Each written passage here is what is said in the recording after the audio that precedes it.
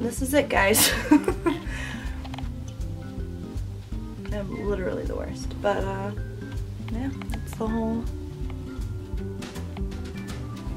here's the whole thing. So uh, this is a little terrifying. My eye bags are looking really bad, so I think that's perfect. The lipstick looks terrible and the hair is, you know, great.